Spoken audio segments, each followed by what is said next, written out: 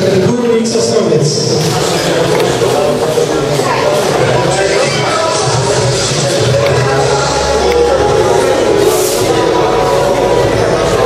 Proszę Państwa, obsada sędziowska w ringu Łukasz Sieprawski na punkty Marcin Cel, Artur Falkiewicz i Karol Wilk.